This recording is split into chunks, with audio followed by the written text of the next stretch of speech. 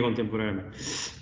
allora, dicevo, questo evento si inserisce in un ciclo di incontri, eh, di approfondimento e di ricerca appunto all'insegna del, dell'Islam. Questo ciclo ha avuto inizio con una conferenza del professor Alberto Ventura e poi insomma prosegue anche oggi eh, con un tema che insomma è quantomeno sensibile e attuale, quindi l'approccio che stiamo cercando all'interno della facoltà di scienze della politica e sotto l'egida del centro di studi di geopolitica e diritto comparato, diretto dal professor Sbailò, è volto prevalentemente appunto a coniugare la serietà metodologica che questo ovviamente che questo argomento impone con eh, delle riflessioni affidate di volta in volta a studiosi, specialisti eh, che abbiano, come dire, contenuti da proporre. Quindi è un incontro ovviamente aperto a tutti, eh, in primis ai nostri studenti, ma ovviamente siamo ben lieti che possa arrivare anche eh, fuori dai confini dell'Ateneo, grazie ai potenti mezzi che ci, messo, ci vengono messi a disposizione. Eh, quindi una volta terminata l'esposizione, poi col professor Leccese, che è un collega dell'Università degli Studi della Calabria, ma che insegna anche alla UNINT, come se, molti di voi lo conoscono, insomma, per, per, i suoi numerosi contributi, soprattutto in tema di sufismo, di Islam contemporaneo. Ebbene, dicevo, poi lasciamo magari spazio, se sei d'accordo Francesco, anche a qualche a qualche domanda, a qualche riflessione, perché insomma il tema è di quelli veramente che, che si prestano a, ad essere accostati da un punto di vista sociologico, giuridico, religioso eh, e quant'altro. Quindi insomma è stata una sfida, devo dire, propostami dal professor Sbailone, abbiamo aderito, adesso aspettiamo la collega Albano che eh, si occupa, come vi spiegherà poi anche lei, insomma, di letteratura araba per l'infanzia, ma al suo attivo degli studi appunto in ambito islamologico, quindi cercherà di, di, insomma, di ricostruire un po' quella che abbiamo definito con un latinismo la vexata questio, perché il tema del velo e di tutte le sue varianti più o meno rigoriste è sempre sulla cresta dell'onda. Quindi il nostro contributo come Ateneo e anche insomma come singoli studiosi è sempre quello di, di, operare dei chiarimenti e fornire dei contributi per una riflessione serena e soprattutto insomma fondata appunto sulle fonti e su una retta informazione perché questo credo sia questa credo sia la condizione sine qua non per impostare anche un corretto eh, appunto dialogo fra Oriente e Occidente. Non so se vuoi Francesco aggiungere tu qualcosa in attesa che arrivino i nostri ospiti. I, I, miei studenti di, della UNINT, soprattutto gli studenti del corso di cultura araba 2, sanno che uh, questo tema viene affrontato anche alla luce di quelle che sono state le evoluzioni uh, dell'immaginario occidentale sul mondo islamico. Uh, su come il velo uh, sia stata un po' un'ossessione, ecco, forse ci siamo, vedo qualcuno, no, se Angelo che è scomparso. Eh, no. dicevo, il velo sia stato un po' un'ossessione già sin dall'epoca coloniale e che eh, intorno al velo, come dire, grossa parte del dibattito eh, intellettuale, anche contemporaneo, su quelli che sono i rapporti tra mondo uh, o cultura occidentale e mondo islamico sono effettivamente di strettissima attualità con tutte le uh, declinazioni contemporanee che negli ultimi 30-40 anni hanno sicuramente dato uh, vita a una serie di dibattiti uh, anche riguardanti una forma, come dire, se vogliamo, di femminismo interstiziale in cui il vero non è più visto come una forma, come dire, di oppressione, ma è visto semplicemente come una forma di mh, mm, scelta individuale. E vedremo poi la, la, relatrice sicuramente entrerà più nello specifico. E, mm, indubbiamente è un tema che in, in, Europa già dal 1989, dal, dal, famoso caso delle tre studentesse della periferia di Parigi eh, espulse dal, dal, proprio liceo per aver indossato il velo in classe, eh, è al centro di dibattiti anche molto infuocati nel dibattito uh, intellettuale, soprattutto in Francia, ma con delle ripercussioni su uh, molti paesi, in, paese, in particolare penso all'Olanda e paesi scandinavi, e con un dibattito che se vogliamo un dibattito senza fine tra posizioni eh, più o meno oltranziste eh, di una forma di laicismo che vorrebbe, come dire, nel velo un simbolo di oppressione to cure e invece oppress- eh, posizioni un po' più eh, liberali che invece tendono a mettere in luce quelli che sono gli aspetti diciamo, della libertà individuale. Ah, ecco qui finalmente posso, posso tacere e lasciare forse la parola a Maria Luisa Albano, forse la vedo mm, un po' sgranata dietro, dietro un velo per l'appunto, se, se un velo digitale. No, Emanuela Irace. No, uh, Angelo, tu ci sei? Ci sei ancora? Sì, sì. sì, sì, sono qui, io mi sono scollegato per evitare echi e quant'altro. Ok, ok. Eh, chiederei anche a Emanuele Race, se mi, se mi ascolta, di mm, o disattivare la videocamera o riattivare una modalità eh, meno psichedelica, perché in questo momento vediamo un velo sgranato. Ecco, grazie, scusi. Quindi diciamo quest- queste tematiche, come dire, sono alla base di tutti gli studi sul, sul mondo islamico, anche perché come dire, le questioni di genere o i, i gender studies applicati al mondo islamico uh, stanno godendo di un certo successo nei nostri studi di settore. Per chi come dire, studia questioni riguardanti il mondo islamico, sia da un punto di vista islamologico che giuridico che letterario, sa che negli ultimi anni dire, eh, c'è stato un moltiplicarsi di studi accademici o anche uh, meno, uh, meno, accademici riguardanti queste tematiche, quindi è veramente uh, un ambito dire, di ricerca vastissimo. Io non sono uno specialista di questioni di genere, come accennava poco fa il professor Iacovella, sono piuttosto uno specialista di Islam contemporaneo e di Sufismo, ma Uh, come dire, è un tema che negli anni rimane sulla cresta dell'onda, no? rimane di particolare interesse per i nostri studenti, per le nostre studentesse,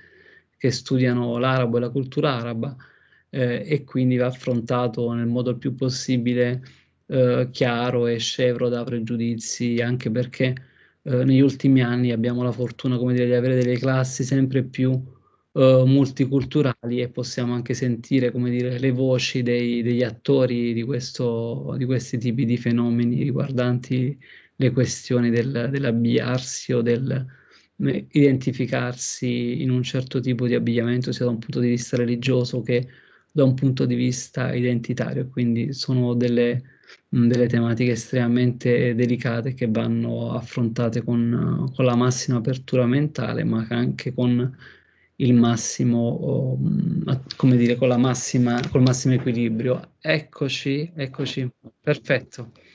Io lascio la parola al professor Sbelò che vedo, vedo, vedo, vedo, vedo che si è manifestato. Mm, mi taccio, Ciro, e ti la, lascio la parola al, al preside.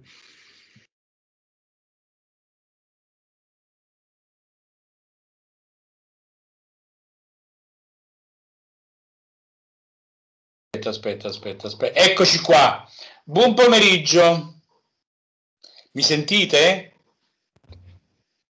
Avrei bisogno di un segnale di, di conferma. Ci sei, Ciro, ci sei. sei Sull'alta fronte di Angelo Iacovella vedo Maria Albano collegato, vedo Francesco Leccese. Voi mi state sentendo? Sì.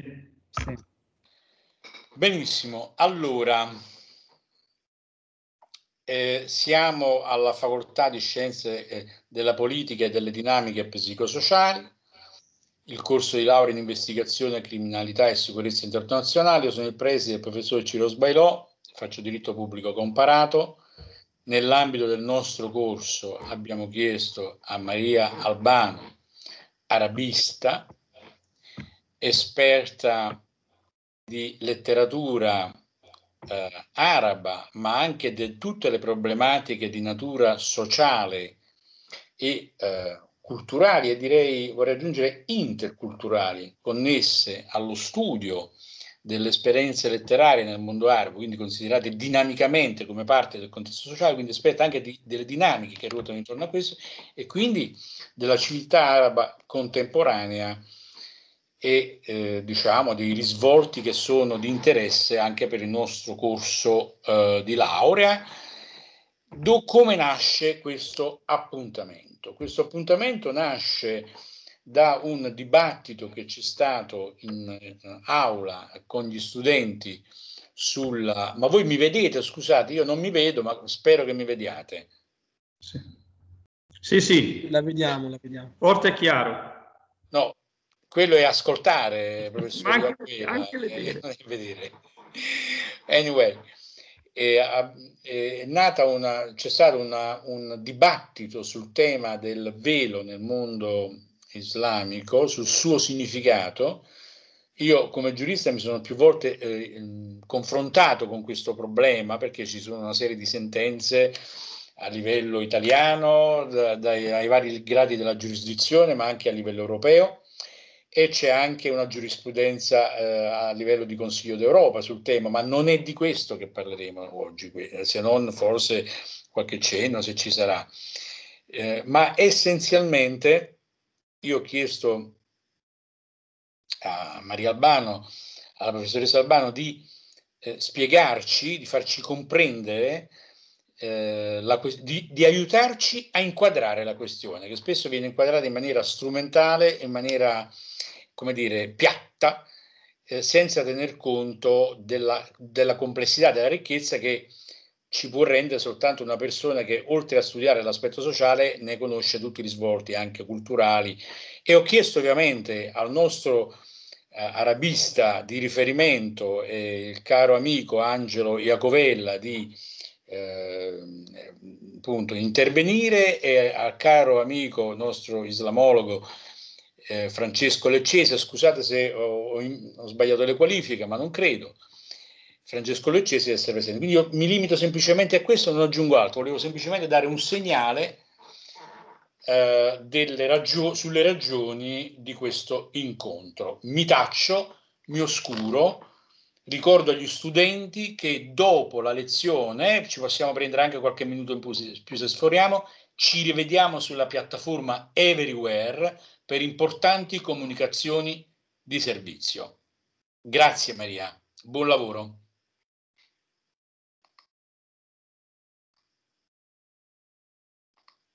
No. Mi sentite? Mi sentite? Sì. sì, sì scusate sì, perché ho una serie di problemi connessi con, con il mio collegamento. Allora, innanzitutto volevo ringraziare il preside, il professor Svailò, per questo invito a parlare del velo e di un argomento che spero sia interessante, insomma, perlomeno spero di riuscire a dare qualche, qualche spunto di riflessione. E, ehm, mh, saluto, mi sentite, vero? Ci siete? Qualcuno mi dà un feedback? Sì, sì, sì, io sento, io sento, io sento eh, benissimo. Scusate, io, io vedo, tutto, vedo una immagine molto, molto mossa. Forse direi a chi magari a discollegare il video in modo tale che la, possiamo vedere la relatrice e soltanto lei. Vedo che c'è. Allora, ragazzi, tutti quanti scolleghiamo ragazzi, video e microfono e lasciamo parlare la, la, relatrice in modo che il segnale arriva più, più chiaro. Grazie.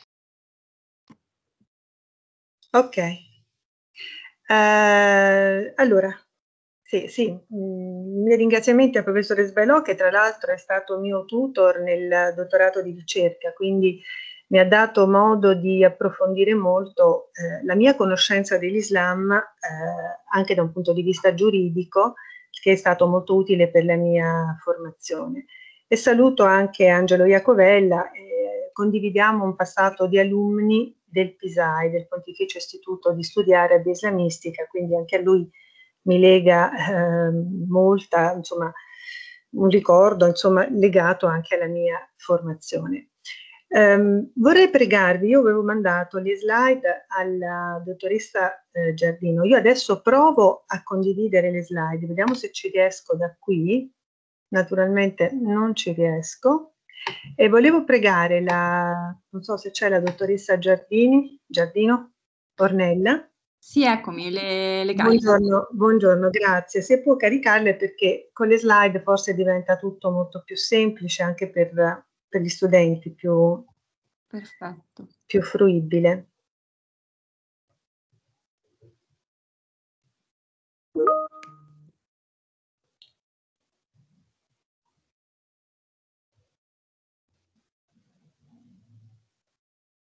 Ecco, io mi, scusate, chiederei sempre alla signora Gabriella, che vedo che, ecco, di disattivare la webcam, così abbiamo... Ok, grazie, benissimo, grazie Ornella, perfetto. Niente, questa è la slide che abbiamo, abbiamo, che è il titolo di questo nostro incontro. Dunque, eh, la prima cosa secondo me da chiarire quando si parla di velo in termini islamici è vedere in quanti modi si può definire il velo. Velo è il burku baraki, che è il famoso burka, velo è chador, il cui plurale è chadora, che è un termine persiano da noi utilizzato appunto come chador, velo è l'hijab, un termine molto noto, il cui plurale è hujub, velo è khimar, il cui plurale è khumur, o anche niqab, il cui plurale è nukub. Quindi diciamo che oggi cercheremo di parlare del velo secondo tutte queste accezioni che sono anche entrate molto nel nostro linguaggio comune, però cerchiamo di capirne meglio eh, non solo eh, le caratteristiche, ma anche mh, diciamo i loro riferimenti al testo sacro, in questo caso al Corano. Ok, allora la prima eh, parola che, che, esaminiamo è la parola che eh, indica il velo come khimar. Il khimar è un velo che di solito viene usato sia dalle donne che dagli uomini per coprire il capo dal sole. E anche in questo caso abbiamo innanzitutto un riferimento coranico, è la Sura 24, il versetto eh, 31 che recita eh, di alle credenti di abbassare lo sguardo e di essere costumate e di non mostrare i loro ornamenti, eccetto quelli esterni, e di stendere i veli, in questo caso il testo coranico usa il termine khumur, che è il plurale di khimar, del capo sui loro seni. Questo versetto viene ripreso, eh, almeno da un punto di vista del significato, dal versetto 59 della Sura 33, che recita o profeta, di alle tue spose, alle tue figlie e alle donne dei credenti che si ricoprano dei loro mantelli, e usa il termine jalalib, questo sarà più atto a distinguerle dalle altre e che non vengano offese. Quindi in pratica nella società proto-musulmana ehm, il termine khimar viene usato eh, il termine velo, insomma, viene usato sia come khimar sia come jalalib, come un indumento, un qualcosa che deve ehm, proteggere dallo sguardo le donne, deve proteggerle, quindi una sorta di protezione. E infatti nella società proto-musulmana solo le donne del profeta potevano coprirsi con il velo. Storicamente quindi il velo non è un dogma coranico, quando diventa dogma? Abbiamo il caso innanzitutto del giurista Win, un giurista morto nel 1996, fondatore dell'Università Teologica di Fez in Marocco, che parla del velo da indossare solo per andare in moschea. E quando eh, Win parla di questo obbligo in qualche modo di indossare il velo ma solo per andare in moschea, usa il termine khimar, e quindi si riferisce direttamente alla fonte coranica, cioè al versetto 31 della Sura 24 che abbiamo letto prima. Ma dopo Kairouin eh, è il teologo Ibn Taymiyyah, che è il teologo della scuola Hamdalita del XIV secolo, che in maniera molto forte afferma invece proprio l'obbligo per tutte le donne libere e non solo per le schiave di velarsi il capo.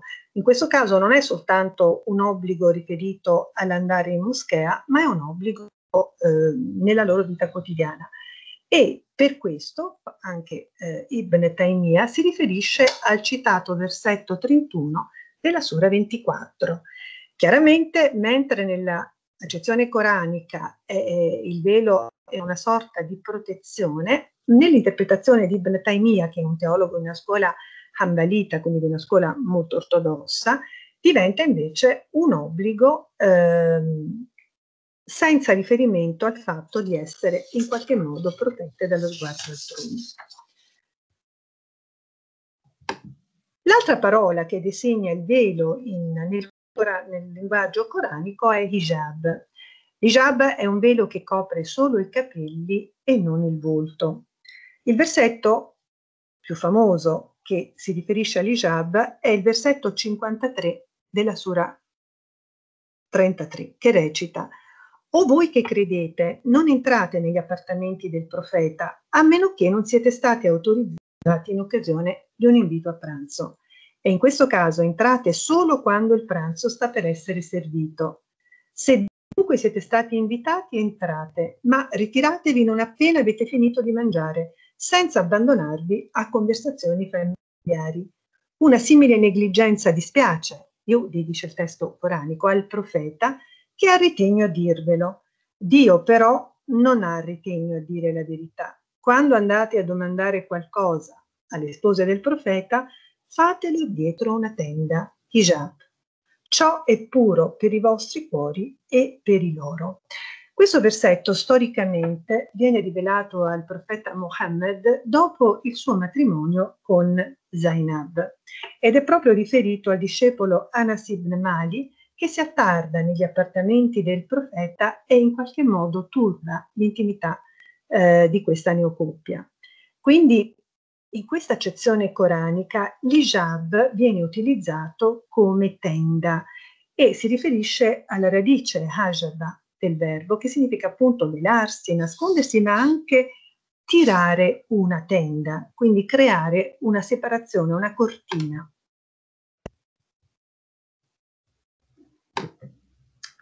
Eh, io non so se riesco ad andare avanti con le slide.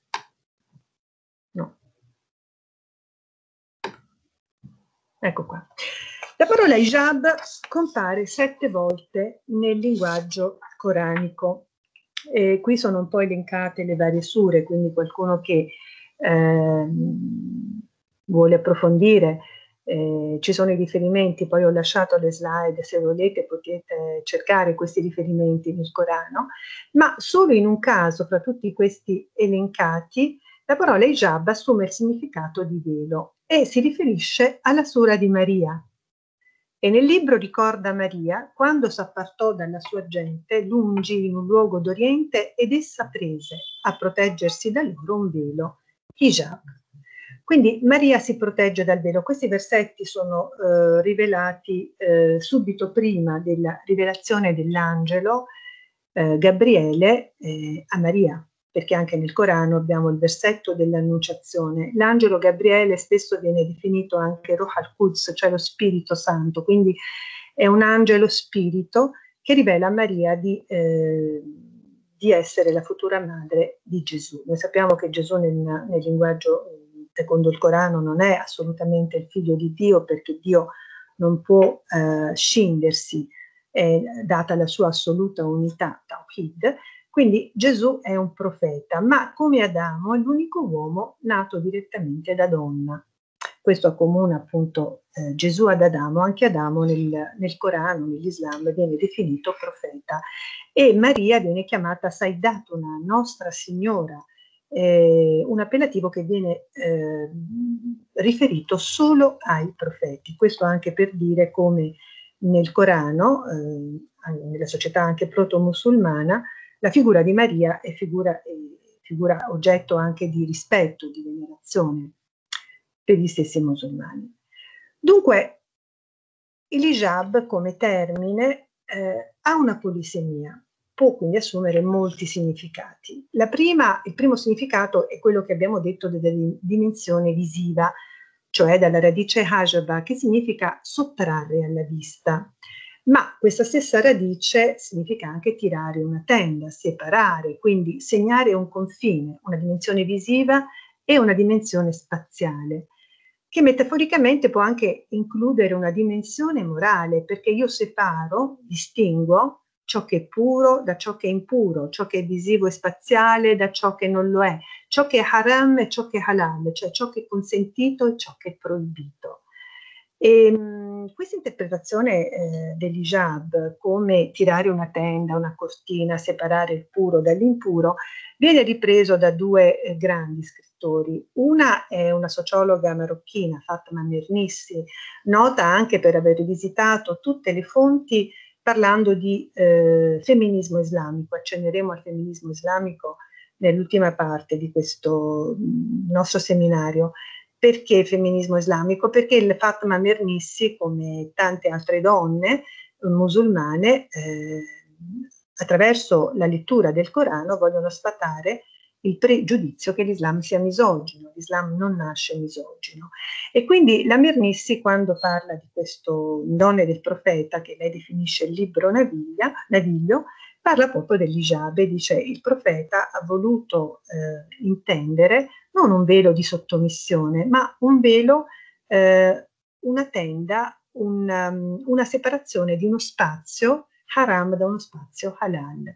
E questo concetto viene ripreso anche da eh, Khaled Fouad Allam, che è stato un noto sociologo, purtroppo scomparso prematuramente, insegnava sociologia all'Università di Trieste, che in un articolo eh, pubblicato su Repubblica nel 2004 riprende proprio questo significato dell'ijab dalla, eh, dalla sura che abbiamo citato e, ehm, e dice appunto il, il, l'ijab diventa un velo, diventa un, un simbolo e ehm, che delimita appunto una cortina, cioè che, che crea una separazione. Dunque, la polisemia del velo si riferisce anche a un significato estremamente diverso da quello che, che è in uso, cioè il velo come simbolo di liberazione della donna. E qui abbiamo ehm, l'avvocato Qasim Amin, che è un avvocato egiziano, che nel 1920 eh, scrive un articolo che si chiama Al-Lataif al-Musarrawa, in cui appunto parla di questo protofemminismo egiziano che è molto secolare perché eh, nasce, eh, siamo nei primi anni del 20, siamo nell'epoca eh, dei, dei, grandi movimenti anche femministi europei, eh, siamo negli anni in cui Virginia Woolf eh, scrive appunto Mrs. Dalloway, quindi abbiamo questa corrente femminista secolare molto forte europea che però viene sposata in gran parte anche dalle donne arabe, specie egiziane, perché questo periodo coincide con quello che in arabo viene chiamato Nahda, rinascita, segna la fine del protettorato inglese in Egitto nel 1922 ed è immediatamente precedente a tutti quelli che poi saranno i movimenti di liberazione dal colonialismo europeo in tutti i paesi del Nord Africa, eh, dalla Libia che si libererà appunto dal colonialismo italiano negli anni 50 fino agli anni 60 che vedono poi la liberazione di tutte le altre nazioni del Maghreb. E perché c'è questa assonanza tra il femminismo secolare egiziano e quello europeo? Perché in realtà il nemico da sconfiggere è quello della società patriarcale. Anche il femminismo inglese si riferiva agli stessi principi. Liberiamoci dalla figura patriarcale, e, quindi da ciò che opprime la donna. Sembra veramente antisimiano tutto questo. Um, in questi anni il mondo arabo conosce molto bene l'Occidente e risente molto dell'influsso dell'Occidente eh, dalle Costituzioni che poi saranno riscritte sulla scia delle Costituzioni occidentali alla 50 di 200 di latte. Prego? Però vedi sulla busta scatola. Prego? C'è qualche... Scusate, c'è qualche problema nella... Mi sentite? Sì, sì, chiedo a tutti di, disattivare l'audio perché forse qualcuno inavvertitamente... Ah no, pensavo che ci fosse eh. qualcuno che voleva intervenire per chiedere qualcosa. E, ehm, quindi se noi diamo questa lettura eh, del protofemminismo egiziano, molto legato alla dimensione secolare, molto legato agli scritti dell'avvocato Qasim Amin, ehm, e molto legato a femministe egiziane come Huda Sharawi, che di ritorno mh, negli anni venti da un grande convegno a Roma proprio sul femminismo, eh, alla stazione del Cairo o, o, di Alessandria, questo non lo ricordo bene, toglie il suo velo e lo getta a terra. Quindi è un gesto che delimita e designa la liberazione. Quindi il velo anche come simbolo di liberazione della donna. Ovviamente questa parte secolare che ha interessato il mondo arabo, ripeto, in, un po' in tutti i campi, non solo nel campo eh, dei diritti delle donne, eccetera, delle costituzioni, della letteratura, perché molta letteratura araba nasce eh, alla fine appunto dell'impero ottomano e poi piano piano con i grandi movimenti della Nahda di questo periodo che arriva fino eh, ai primi anni del Novecento, nasce sulla scia, sul, ehm, dei grandi capolavori letterari dell'Occidente che sono stati tradotti dagli autori arabi e poi piano piano gli autori arabi hanno trovato un loro stile. Um, ancora, per parlare del velo, dell'hijab e dare una connotazione riferita appunto alla sua polisemia, um, c'è un verso molto bello, cioè uno scritto molto bello di Adoni, che è uno, un poeta, che in Detour d'écriture nel 1993 scrive L'imposizione del velo è il risultato naturale e logico dell'unità di pensiero riguardo a Dio, che rifiuta ciò che è percepibile attraverso i sensi e le sue tentazioni. Il velo gettato su una donna non sarebbe altro che l'eliminazione della sua immagine, da cui procede la sua capacità di seduzione. L'occultamento dell'immagine della donna è una conferma simbolica della priorità della stazione spiritualizzata e pertanto un superamento del mondo dei sensi e degli istinti. In questo caso eh, il fatto che la donna sia velata, quindi il fatto che non ci sia possibilità di avere tratti umani, addirittura, secondo Adoni, sarebbe un paragonare, uno spiritualizzare la donna. Noi sappiamo che per l'Islam Dio non può essere antropomorfizzato, non ci sono immagini di Dio, la spiritualità, cioè il suo essere eh, un essere intrascendente, la sua unitarietà e unità, il Tawhid non permette assolutamente di dare connotazioni umane alla divinità. Quindi anche la, le immagini del profeta, eh, le poche miniature che noi abbiamo, le, le, immagini che sono state trasmesse, sono sempre di un volto, senza, un volto velato, un volto senza tratti umani, anche per questo eh, è simbolo di una spiritualità. E st- lo stesso concetto di spiritualità è per la donna, perché il velo in questo caso, cancellandone, eh, cancellandone i tratti umani, come dice Adoni, ha una conferma simbolica della priorità dell'astrazione spiritualizzata, quindi addirittura si supera il mondo dei sensi e degli istinti. Quindi la donna non è più simbolo di Hawa, come dice il Corano, cioè simbolo eh, di un momento di eh, digressione, eh, di confusione, ma diventa addirittura un'immagine eh, spiritualizzata.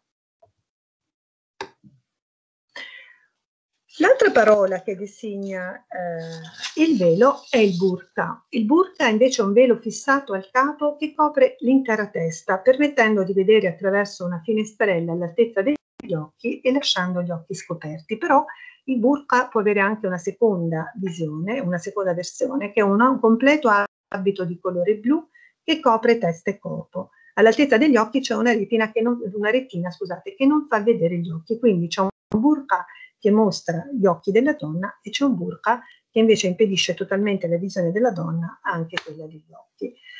Eh, dove viene usato? Soprattutto, eh, viene usato soprattutto in Afghanistan, introdotto all'inizio del Novecento nel regno di Abibullah e fino agli anni 50 anche in questo caso è prerogativa delle donne dei ceti abbienti, l'abbiamo visto anche prima con l'hijab, no?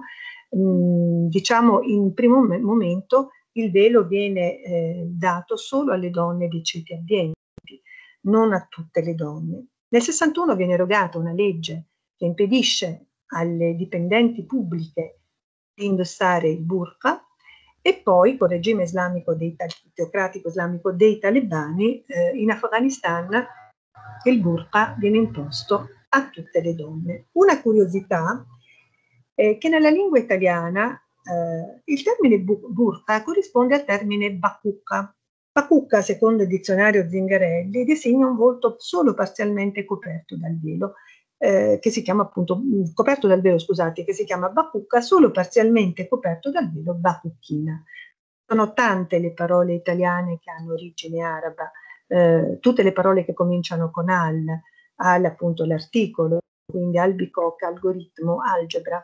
Quindi questi, mh, queste parole che sono derivate dalla dominazione araba in Italia, specialmente in Sicilia, sono poi diventate anche parole di uso comune. L'altro modo per dire eh, velo è niqab. niqab è una velatura del volto femminile che era già presente in epoca preislamica e lascia scoperti solo gli occhi. Sono molte ehm, le cose che dell'epoca preislamica, detta dagli arabi della Jahiliya, dell'ignoranza, passano poi all'Islam. Non tutto viene eh, tolto o ripudiato. Uno di questi appunto è questo copricapo, il niqab, il quale si compone di due parti. è un fazzoletto di stoffa leggera e trasparente collocato al di sotto degli occhi che copre naso e bocca. Pezzo di stoffa più ampio che nasconde i capelli e buona parte del busto legato dietro la nuca e lasciato cadere morbido sulle orecchie. Quindi una prima parte, però si parla di un, di un fazzoletto di stoffa molto leggero e trasparente che copre naso e bocca e poi un'altra parte di stoffa più ampia che viene legata dietro la nuca e lasciata cadere morbida sulle orecchie. Nel vicino Oriente spesso l'idea del niqab è stata associata alle correnti fondamentaliste dei wahhabisti, una delle correnti più fondamentaliste dell'Islam, legata all'Arabia Saudita, ma non solo, so, non solo in queste aree ehm, fondamentaliste, potremmo dire, presente il niqab, è presente anche in molte altre aree ehm, del mondo arabo. In Egitto si è, ehm, specialmente nei primi anni del 2000, c'è stata una forte tendenza per le donne di lasciare l'hijab ehm, per favorire il niqab, quindi in qualche modo un velo che più coprente rispetto all'hijab che abbiamo detto copre solo il capo e lascia scoperto il volto, al punto che nel 2009, il primo gennaio del 2009, l'allora ministro dell'istruzione Hani Halal, Helal proibì alle studentesse di accedere all'università con il niqab, proprio in qualche modo per fermare questo, ehm, questo ritorno a un velo più integrale. Ora, tutto questo che noi abbiamo detto è molto importante perché? Perché è chiaro che il, il velo si ricongiunge eh, molto facilmente a quello che viene definito il femminismo islamico. Che cos'è il velo? È un'imposizione coranica che significa che la donna è sottomessa all'uomo? È un simbolo di identità, è una scelta della donna, le donne velate si chiamano muhajabat, molto spesso le donne scelgono di indossare il velo.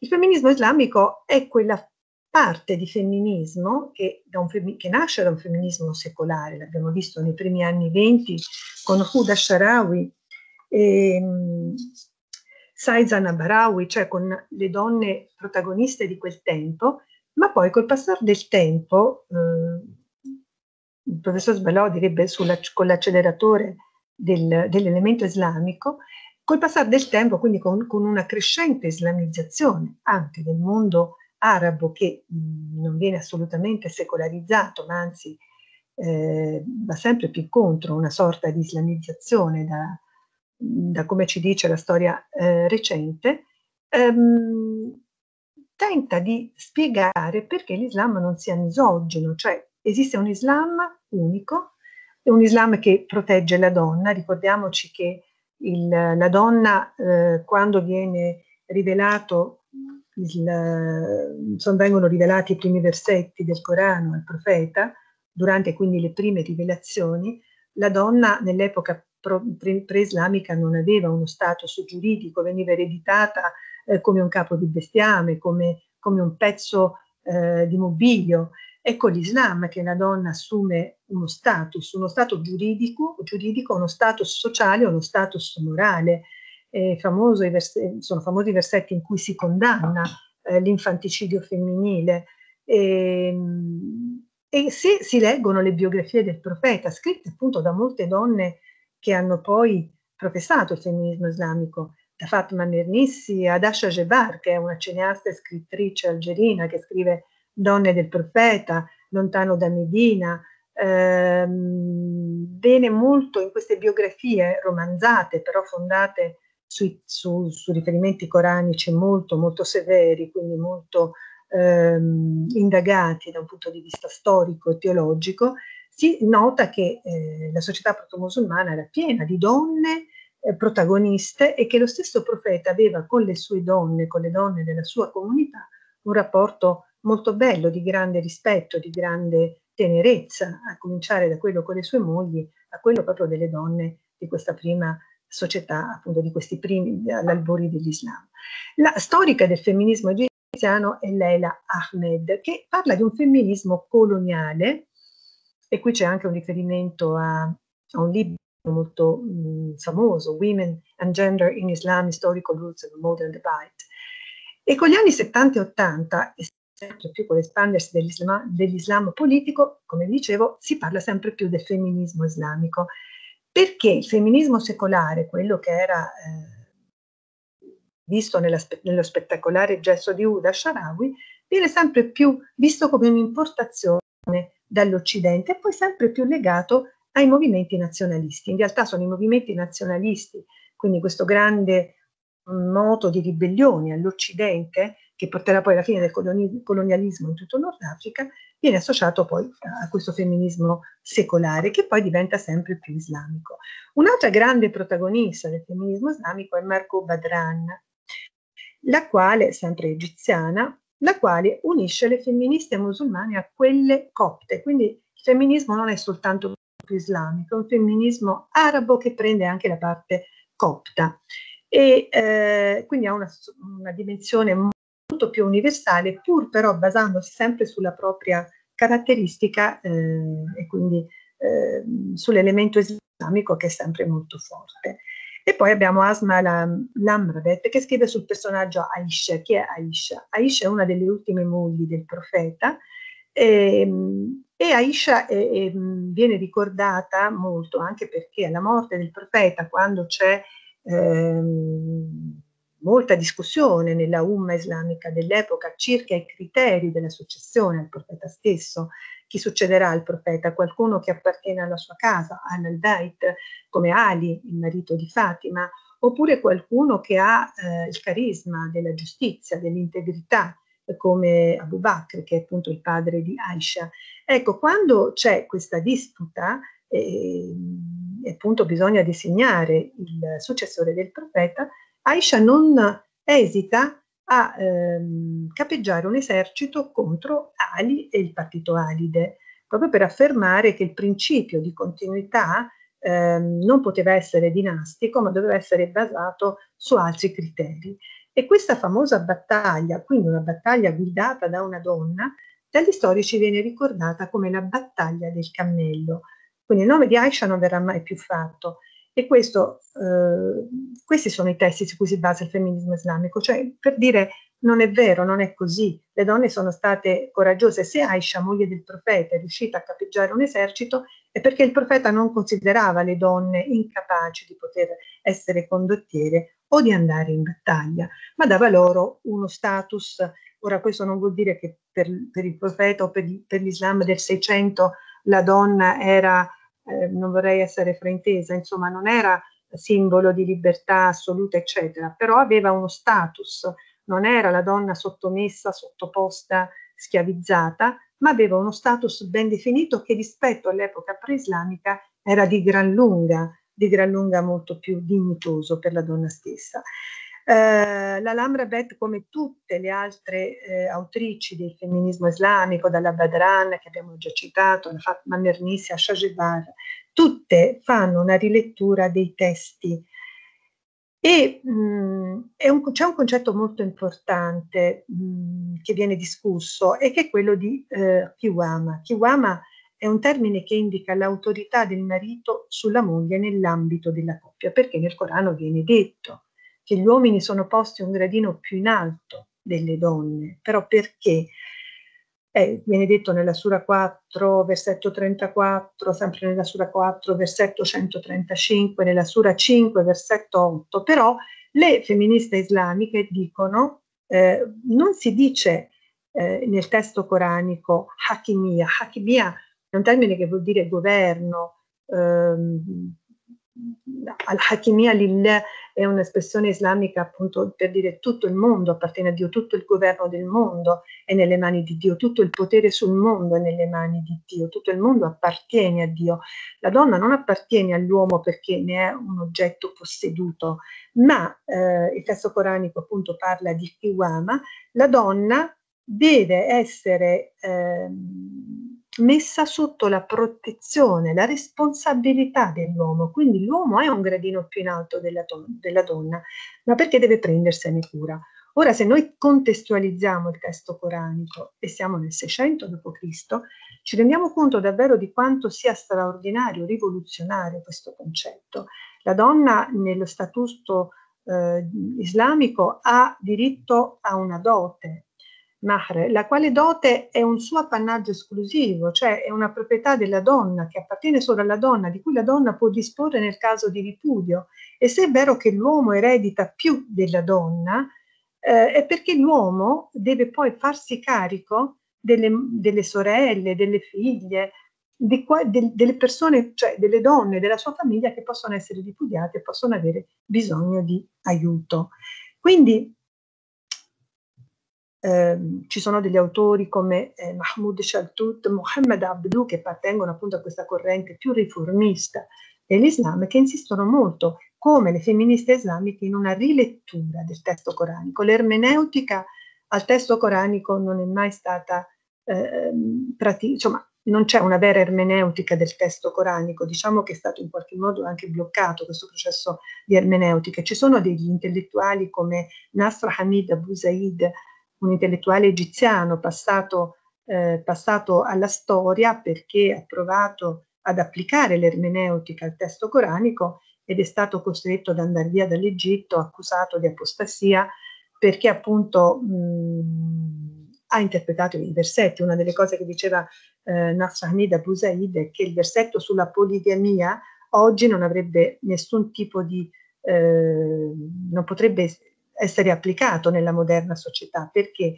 Perché il versetto sulla poligamia, quindi sulla possibilità che un musulmano ha di sposare più mogli, venne eh, rivelato dopo le prime battaglie in epoca proto-musulmana, in cui molti erano, eh, molte erano le donne rimaste vedove e bambini rimasti orfani, quindi quei pochi musulmani che sopravvivevano a quella che fu una vera e propria battaglia che il profeta stesso dovette sostenere contro il potere di allora, cioè le tribù Quraishite, eccetera, dovevano poi prendersi, questi uomini sopravvissuti dovevano prendersi cura delle, delle donne mh, rimaste vedove, dei bambini rimasti orfani.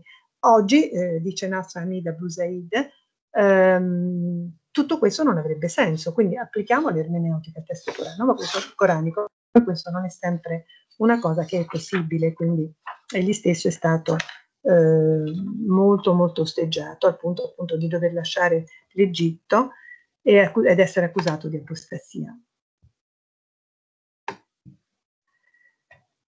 E qui ho lasciato alzi a qualcuno venisse voglia di approfondire un po' questo, mh, questo discorso sul femminismo islamico. Ecco, è interessante anche che sempre Asma eh, Lamrabetek parla del movimento femminista come la terza via capace di riconciliare i valori dell'Islam e quelli dei diritti umani. È un po' quello che i costituzionalisti dicono della democrazia in senso islamico, cioè non è vero che i diritti umani, non è vero ehm, che le libertà della donna sono incon- i valori dell'Islam sono inconciliabili con, ehm, con quella appunto che è la dignità femminile. Non si deve per forza pensare a una donna completamente sottomessa. Nel 2009 nasce un movimento globale, si chiama Musawat, che chiede l'eguaglianza dei diritti all'interno della famiglia. In Turchia sono molte le iniziative per la rilettura degli hadith cosiddetti misogini. Gli hadith sono gli scritti, ehm, eh, i detti riferiti al profeta Mohammed, che avrebbe e ai suoi compagni della società proto-musulmana, che sono stati tutti eh, selezionati accuratamente per verificarne l'autenticità, cioè per essere sicuri che sia stato il profeta stesso a pronunciarli, che fanno parte con il Corano, ehm, sono appunto i testi sacri, sono la fonte del diritto di tutti, eh, del diritto appunto islamico, quindi hanno una loro grande importanza. E eh, rileggiamoli, dicono, e rendiamoci conto che molti hadith misogeni non lo sono. Questo lo fa molto bene Fatima Mernissi nel suo libro Naviglio, Donne del Profeta, in cui riprende proprio un hadith cui, eh, che, che, risulta veritiero, ma che secondo lei lo dimostra con le fonti, non lo è, in cui si dice eh, guai, eh, che il profeta avrebbe detto guai a quella donna che, eh, a quel popolo che viene guidato da una donna. Uh, c'è questa tendenza appunto a, a, a, rileggere gli hadith e a verificarne l'autenticità non in senso misogino, va di pari passo con la tendenza di formazione delle donne musulmane come teologhe o predicatrici, le dayat. Ancora questo movimento femminista, questo islamico, questo appunto vedere nelle fonti quanto la figura delle donne non sia affatto una figura sottomessa oppure di secondo piano rispetto all'uomo, viene visto anche con eh, la nuova legge, non più tanto nuova, del Marocco, la Mudawwana. E infine eh, in Giordania c'è stata questa associazione, la FF, che era vicina ai fratelli musulmani, che si è impegnata a combattere le disfunzioni e le violenze in ambito familiare creando una collaborazione con l'associazione femminista di stampo secolare Unione delle Donne Giordane. Cioè in Giordania c'è stata proprio questa unione del femminismo secolare e il femminismo islamico. Io mi fermo qua perché vedo di aver sfiorato, sforato il tempo che mi era stato, um, che mi era stato dato. Le ultime due slide approfondiscono da un punto di vista del significato appunto il termine kiwama, proprio per um, dimostrare tutto quello che abbiamo appunto detto.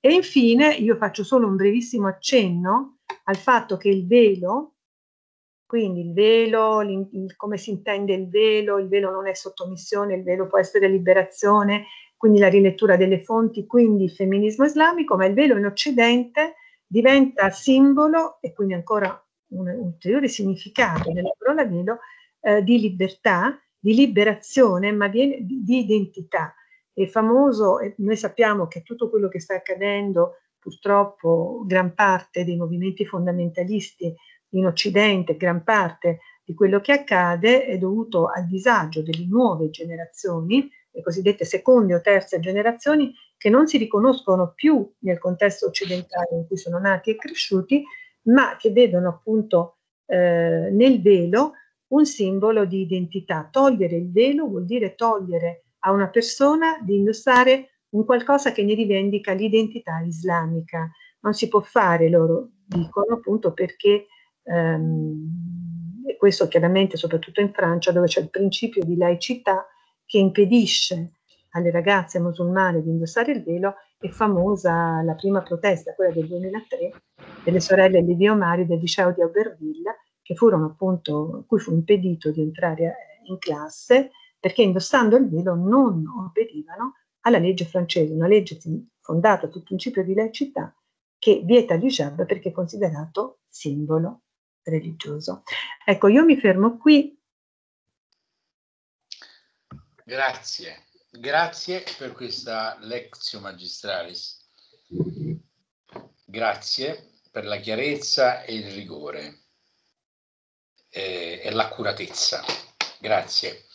Allora io ehm, intanto a mo' come dire, di commento metto, voglio far vedere questi due testi che mi sono trovato adesso. Devo dire, devo, devo a Maria Albano f- avermi fatto conoscere uh, Abu Zaid. Eh, e poi invece qui abbiamo Niccolò Cusano, che è un filosofo del XV secolo, molto importante anche se poco conosciuto, che dedica un libro, dice, inter- lettura dialettica del Corano. Perché questi due testi? Perché Cusano cosa fa? Cusano rilegge il Corano con, il, con l'ermeneutica cristiana e arriva a giustificare le, dif- le differenze dottrinali tra cristianesimo e islam senza superarlo, cioè rimangono due realtà, però nella sua ermeneutica eh, in qualche misura giustifica le divergenze dell'Islam, senza però arrivare a un irenismo assoluto. Abu Zaid, che è, è, è un maestro dell'ermeneutica, Maria, ma io credo che tu l'abbia conosciuto, se non sbaglio, no? O comunque, perché lui non è morto da tanto. È stato al Pisai più volte, ospita il Pontificio Istituto di Studi Arabi. ah, ecco, eh, mi ricordo, perché mi ricordo che me ne parlassi sì. tu la prima volta. Sì, sì, sì purtroppo, purtroppo morto da poco, sì. Morto da poco. Sì. E lui è, eh, cosa fa? Lui applica l'ermeneutica. L'ermeneutica al Corano, che è una cosa diversa però dalla libera interpretazione. Io non, non, sono, questo poi magari Angelo e Francesco mi correggeranno e tu Maria mi correggerai, ma io non credo che Abu Said stesse riaprendo la porta dell'Ijtihad, perché la sua, la sua ermeneutica è un'ermeneutica interna, secondo me, al Taqlid, c'è alla tradizione, però questa è una mia interpretazione personale, poi non ho sufficiente conoscenza. Io come giurista ho una certa predilizione per i Taqlid naturalmente, cioè per Abderrazek al-Sanuri, ma ovviamente per... Però ecco, però voglio dire, la interpretazione, la hermeneutica è molto importante per smontare questo, questa macchina infernale della interpretazione fondamentalistica, soprattutto tra le giovani generazioni e tra quanti non hanno un rapporto diretto con la tradizione islamica. Ma volevo soltanto fare questo punto e prima che mi dimentico lanciare lì un'idea, e cioè di un incontro con Maria e con Francesca Boccaldacre e, e, e quindi e, con Angelo e Francesco Alcese, magari di qui, non so, a settembre organizzare un workshop eh, della Unint su questo, su questo tema, un workshop, un workshop con gli atti e pubblicazioni della nostra rivista scientifica. Questo magari lo, lo lancio lì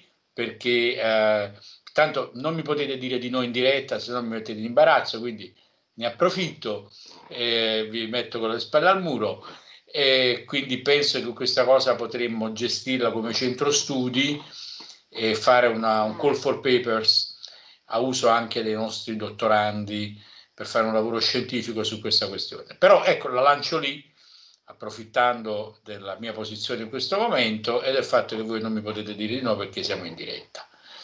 Bene, allora adesso io vorrei dare la parola eh, innanzitutto ai nostri due colleghi, eh, diciamo esperti e nostri riferimenti della comunità UNIT su questi temi, Angelo, Francesco e poi magari sentiamo gli studenti. Sì, Intanto di nuovo buonasera a tutti, io ringrazio di cuore la nostra relatrice, l'occasione è stata propizia per appunto come dire, intavolare una discussione su una base scientifica e impeccabile anche da un punto di vista metodologico, quindi davvero grazie eh, alla, alla, collega Albano. Eh, io mh, devo confessare di essere un po' a disagio perché mh, mi sono... Mh, con molta eh, circospezione sentito coinvolto in questa iniziativa, anche se il tema è di quelli che fanno tremare un po' le gambe e i polsi, perché eh, intreccia una serie di discipline che vanno appunto dalla giurisprudenza eh, alla, alla, dimensione religiosa, al folklore, alla tradizione e poi soprattutto è carico di valenze simboliche e nell'attualità più stretta viene spesso evocato in maniera anche talvolta maldestra e strumentalizzato vuoi in chiave xenofoba, vuoi anche per eh, giustificare un'immagine dell'Islam che non sempre corrisponde insomma, a quello che poi eh, risulta dai testi, come la nostra collega insomma, ha fatto emergere in maniera direi molto efficace dal, dal suo, dalla sua relazione, insomma la ringrazio nuovamente anche di questo,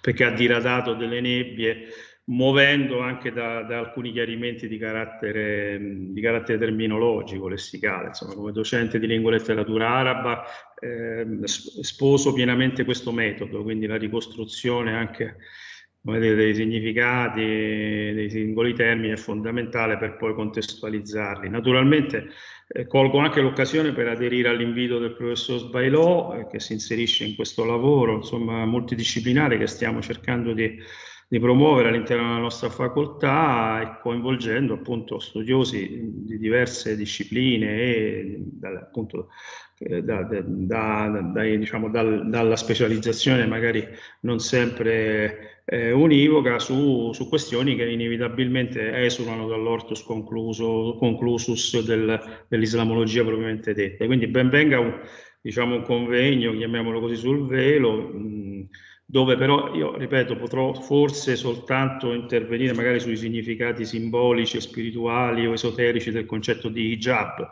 perché nella metafisica islamica insomma poi il, il termine hijab assume un, un, significato che va ben al di là dell'accezione che abbiamo oggi eh, affrontato.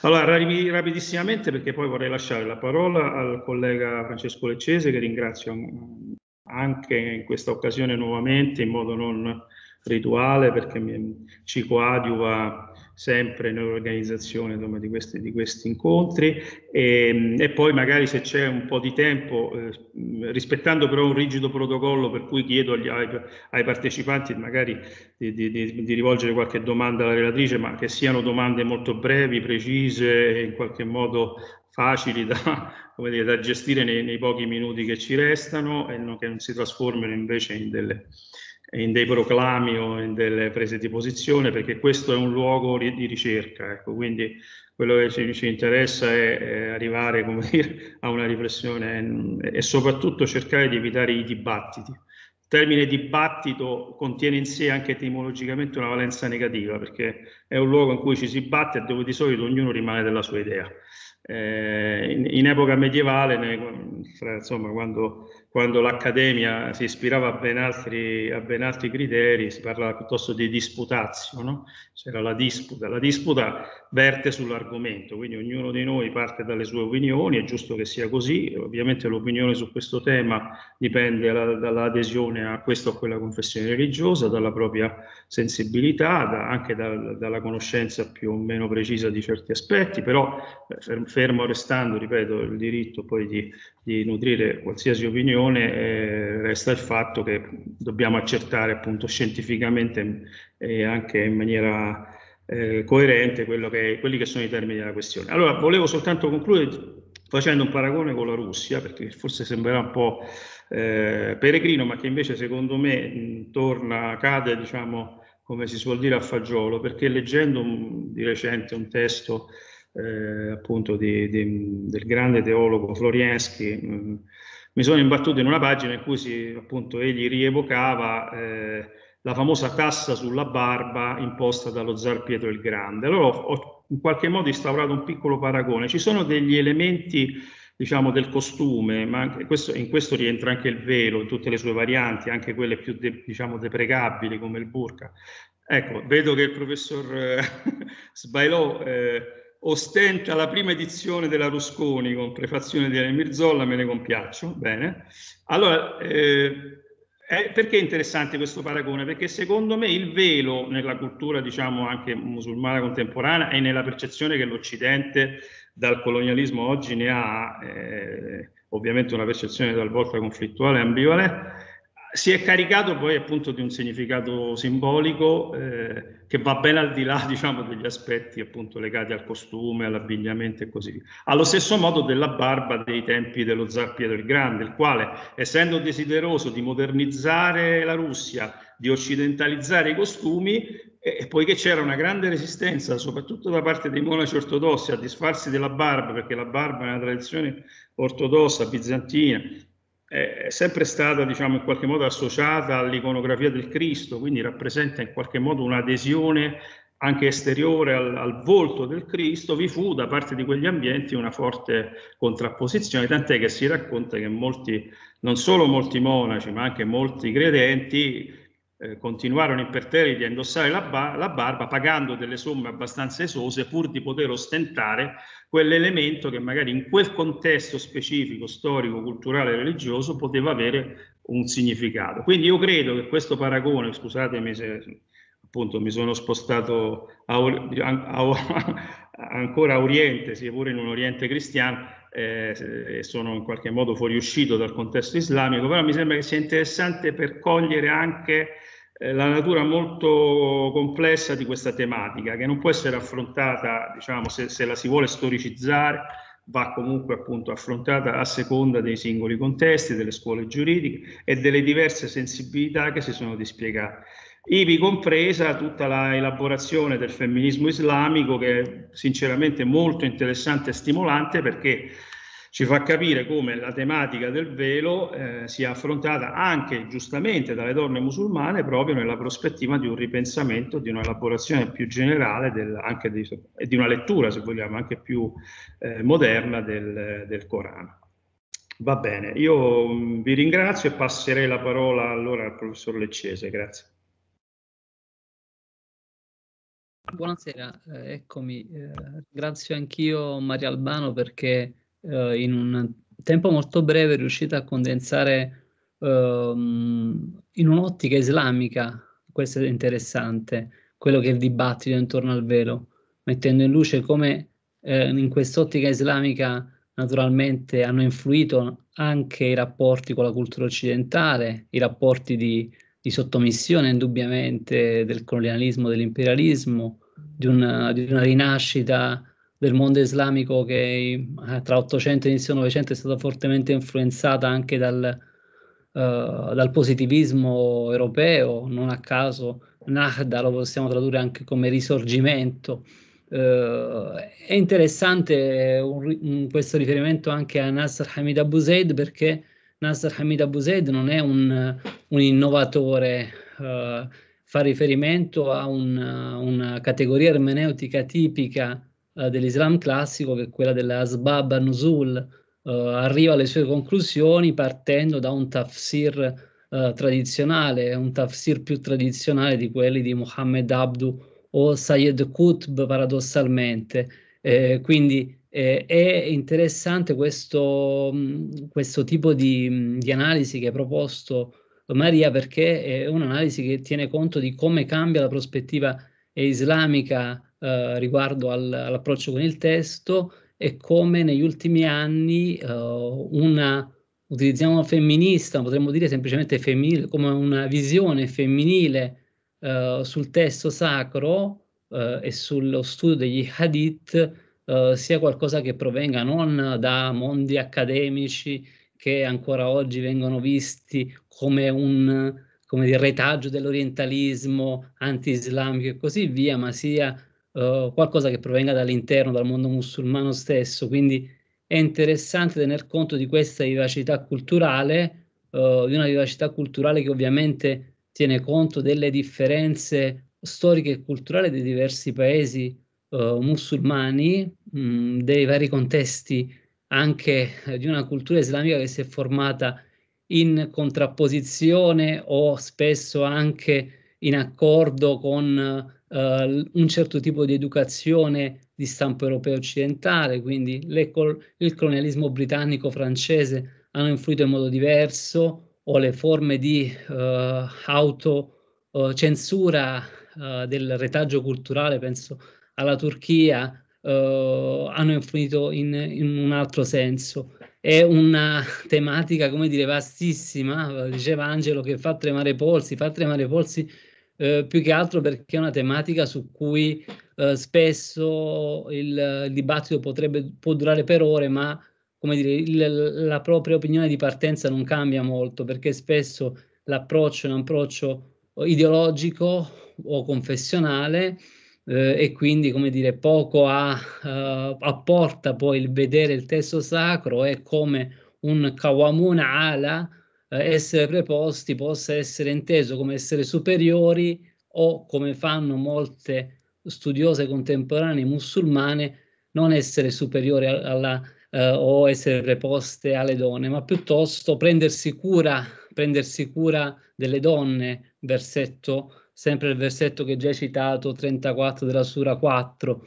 Eh, quindi eh, è interessantissimo questo tipo di dibattito, uh, ci sarebbe da aprire tutta una questione su come, come dire, siamo figli ancora di una forma di orientalismo culturale, perché il, uh, un, un, libro con una donna con un velo o una locandina con la donna con il velo permette di far arrivare a una conferenza 80 persone, uh, una calligrafia in arabo no, o piuttosto e così via, perché siamo ancora così, come dire, eh, legati a questo tipo di immaginario. Alcuni immaginari, penso quello del hammam, eh, sono ormai superati, fanno parte di un orientalismo passato. L'orientalismo pittorico è come dire appannaggio di pochi, ma l'orientalismo del velo eh, si vede anche nelle copertine sul mondo islamico, quanti testi ci sono uh, sulle donne nel mondo musulmano, tantissimi. Eh, eh, nulla, queste sono le mie uh, osservazioni, mi permetto di dire agli studenti, colleghi, uh, ospiti che sono presenti, che se hanno osservazioni da fare, di alzare la mano e prendere la parola, perché anche per, la, per noi che stiamo, come dire, in questo momento parlando, è molto uh, faticoso cercare di stare dietro alla chat, non è come dire una chat di richieste, quindi una questione di adab, di adab, di buon comportamento e su questa questione del buon comportamento vorrei dire un'altra cosa.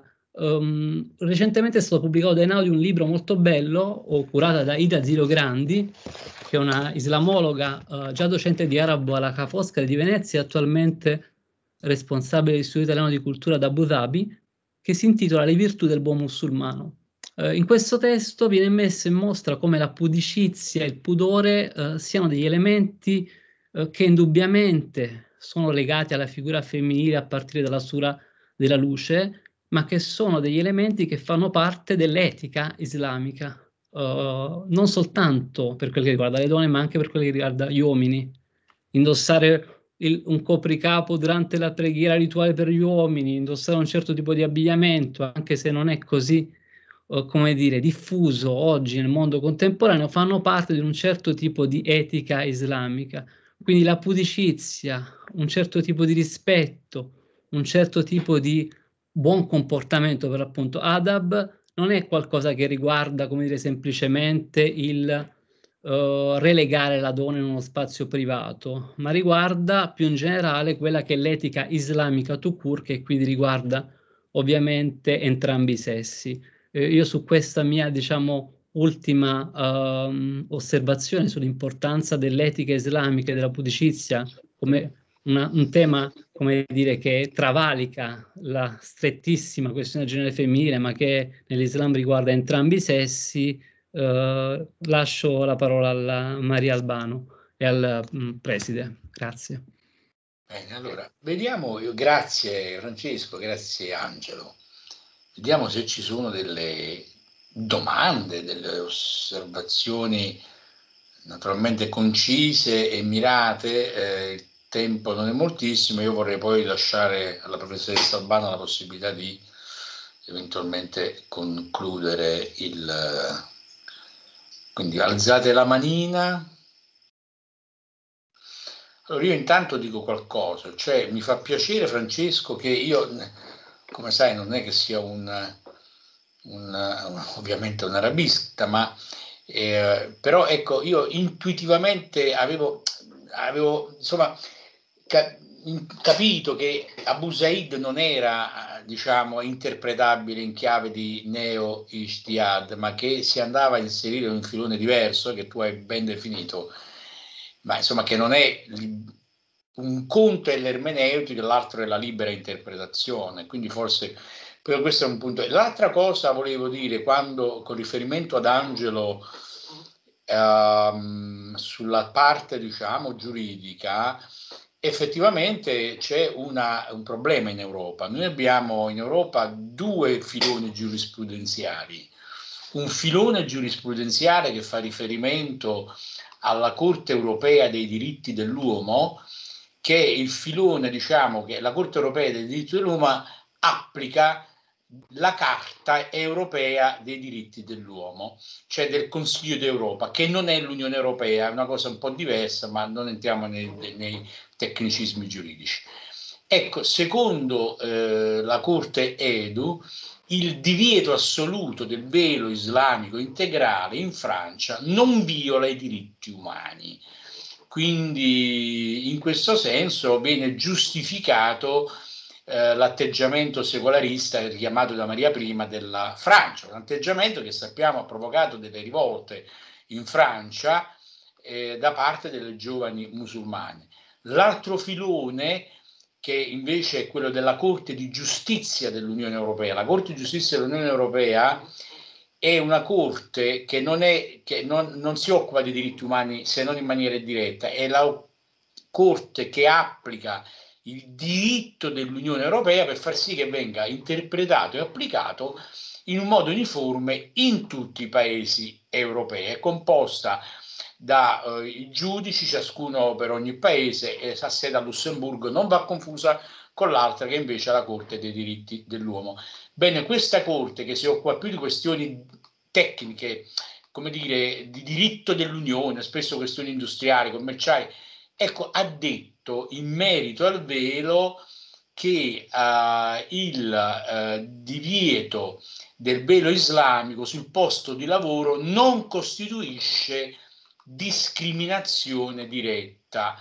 Quindi diciamo che c'è una giurisprudenza, come dire, di segno, uh, no, come dire, di segno contrario ecco, alla, alla, alla questione del velo. Questo andrebbe studiato perché poi nello stesso tempo la giurisprudenza non della Corte di giustizia, cioè questa, ma dell'altra corte, quella che si occupa dei diritti umani, è una giurisprudenza che al tempo stesso cerca poi di assecondare il relativismo giuridico, dicendo per esempio che può essere lecito offendere, eh, come dire, i simboli del cristianesimo eh, e così via. Quindi andrebbe forse fatta una riflessione su come la cultura giuridica europea sta affrontando il tema, diciamo, della riespansione dell'elemento religioso nello spazio pubblico e il contributo che può venire da islamologi come Maria Albano, eh, Francesco Leccese, Angelo Iacovella, per noi che studiamo questa cosa sul profilo giuridico, secondo me è enorme.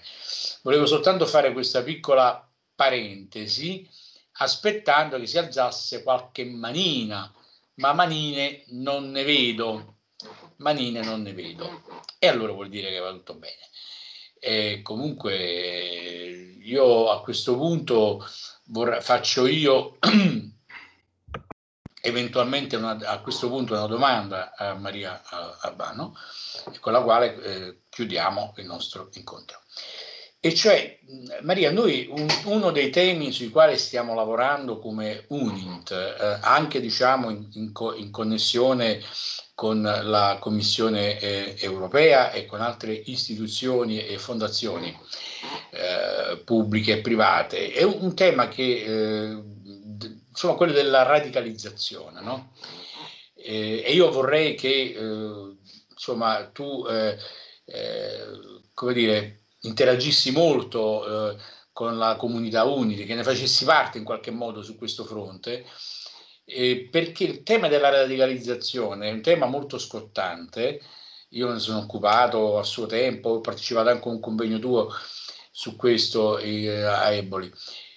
Cioè si serve molto, la, eh, le strategie di radicalizzazione si servono proprio della cattiva interpretazione del testo islamico, soprattutto tra i giovani, i quali peraltro hanno un approccio estremamente piatto alle fonti e addirittura i giovani di famiglie musulmane presenti in Occidente in Italia si rapportano alla loro cultura uh, in maniera schematica, senza tener conto della complessità. Mi ricordo che una volta c'era un tuo progetto che poi quello di far conoscere i testi degli autori arabi contemporanei ai giovani arabi italiani. Cioè, magari loro sanno eh, qualche versetto del Corano e non sanno chi è, uh, come si chiama il dentista, scusa, lo nomino ma me lo scordo sempre. No, anche perché mi sta simpatico. Ah, alla, alla Suani. Alla Suani. Ecco, alla Suani, no, mi è simpatico perché il personaggio è, è diciamo, è Gaio. Eh, eh, insomma, è un, è un, uomo di mondo, ma penso a Naguib Mahfouz, che tu conosci molto bene, al Sharuni, che tu conosci benissimo. Cioè, loro non conoscono la complessità della cultura di riferimento. Allora io mi chiedo quanto potrebbe contribuire, secondo te, anche questo eh, un'opera anche di traduzione e di, di, e di, diffusione di questi testi a far avvicinare questi giovani che vengono dalla cultura arabe alla loro cultura nella, considerate nella loro dinamicità, che è qualcosa di dinamico, non è che sta scritta là una volta per tutte. Ecco. Sì, c'è anche una... Eh, allora, rispondo al preside poi vedo che c'è una manina alzata di, forse di una studentessa. E comunque, per quanto riguarda questo, innanzitutto vi ringrazio per l'apprezzamento che avete fatto alla mia relazione, detto da voi, eh, è per me gran, motivo di grandissima gratificazione.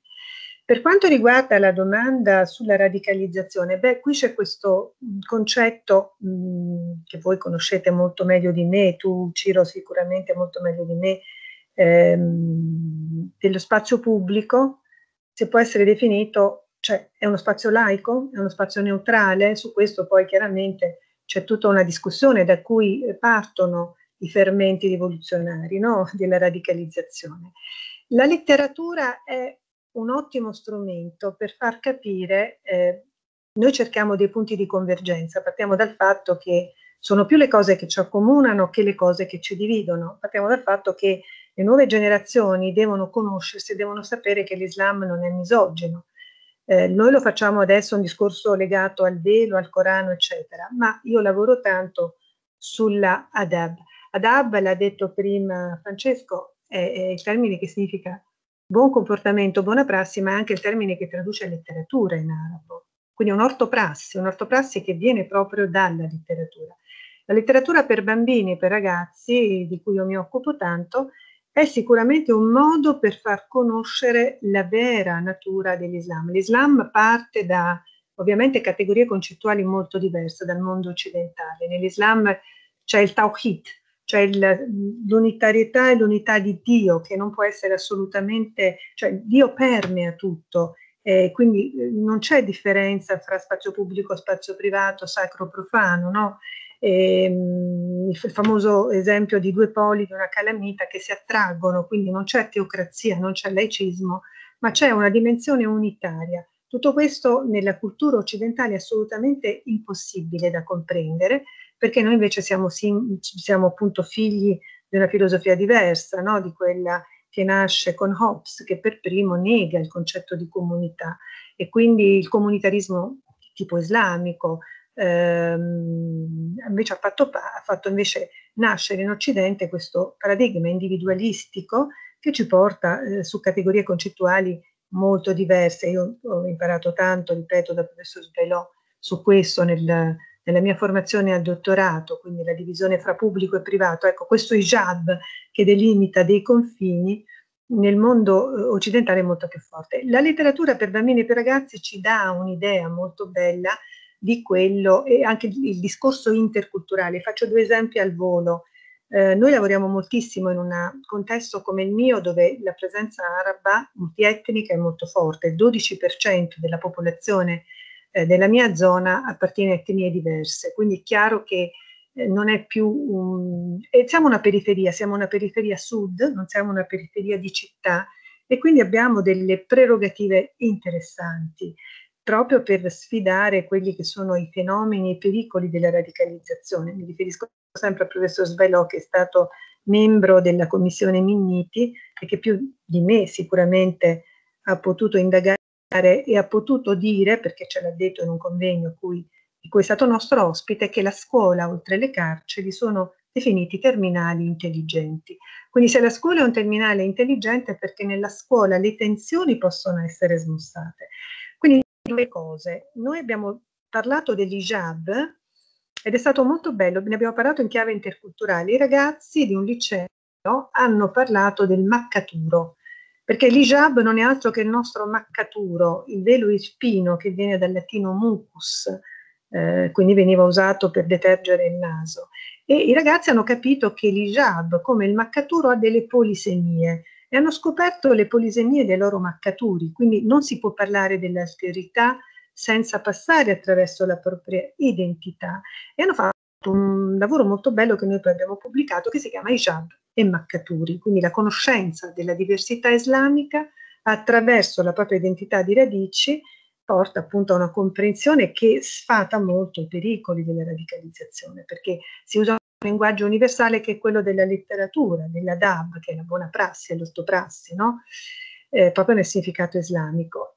E un altro esempio velocissimo, eh, proprio per sfatare la misoginia anche attuale del mondo islamico, il professor Svelò citava Sharuni, decano della letteratura araba per bambini e per ragazzi, grande scrittore copto egiziano, ehm, che ha un altro grande omologo che è eh, Abd al-Tawaf, scrittore musulmano, badate bene, che scrive una bellissima biografia del, del profeta narrata da un elefante per i bambini, che riscrive Capuccetto Rosso ispirandosi a Rodari e Capuccetto Rosso come eh, Cenerentola fanno una rivoluzione sulla loro fiaba. Capuccetto Rosso si rifiuta di indossare il cappuccio rosso indossa un paio di jeans e Cenerentola si rifiuta di sposare il principe. Quindi parliamo di autori arabi per ragazzi contemporanei, uno di fede copta, l'altro di fede islamica, che ci insegnano appunto quello che il professor Sbalò diceva. I pericoli della radicalizzazione si vincono così, con, con questo tipo di discorsi, secondo me. Grazie.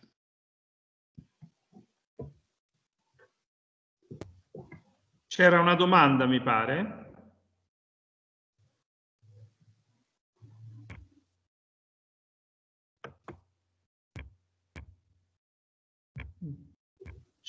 Ciro, non ti sentiamo più.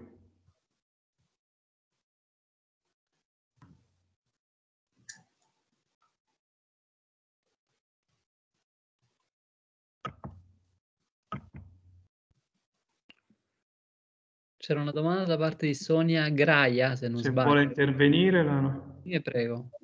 Prego. Però Ciro, Ciro non ti sentiamo più. Forse hai il microfono disattivato. Eh, sì, eccomi, vi senti... No, stavo cercando anche io la, la studentessa che voleva intervenire, ma non la vedo.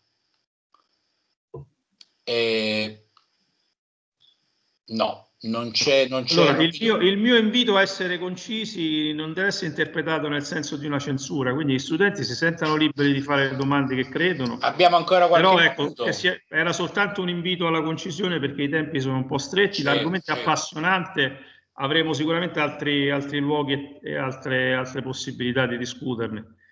Forse qui oggi soltanto un piccolo seme abbiamo piantato. Sì, diciamo veramente... che questo workshop eh, nasce nel contesto di un corso eh, della, mia, della lezione, sì. però secondo me dobbiamo fare una cosa come centro studi uh, più in là, con un, anche con un, diciamo una call magari per dottorandi, qualcosa del genere, e, e, la, e la inseriamo nel nostro dottorato eh, insieme al centro studi, eh, perché credo che l'argomento vada, vada ulteriormente, ulteriormente sviluppato. Oh, credo che la studentessa abbia una difficoltà tecnica, quindi non, perché eh, ci scrive che se la sentiamo o meno, ma non riusciamo a sentire. Io non riesco a sentire niente. Forse può scrivere la domanda. Ma magari. no, le domande si fanno a voce, scrivere, eh, so, poi uno deve scrivere la risposta. No, di connessione non saprei come si fare. Va mi pare, cioè si, si parla anzi in video. Ah, magari può attivare la webcam così intanto la vediamo se non la sentiamo. Esatto.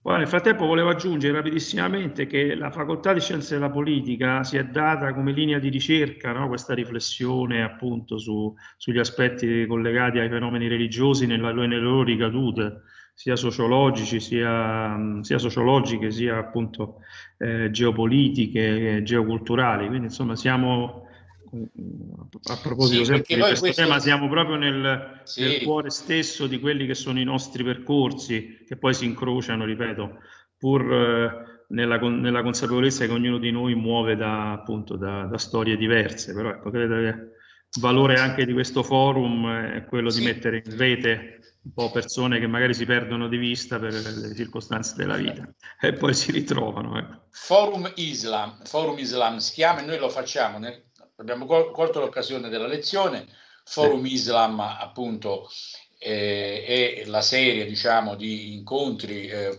organizzati da Angela, il prossimo a questo punto lo faremo nell'ambito di questo Forum Islam, noi abbiamo Forum Islam, Forum Ebraismo e Forum Chiesa.